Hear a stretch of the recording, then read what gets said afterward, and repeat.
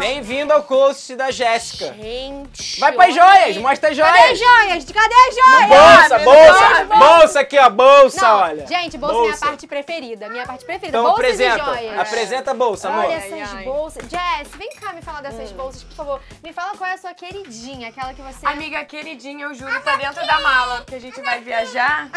É A queridinha uma é essa aqui, ó. não. Essa daqui é a minha queridinha.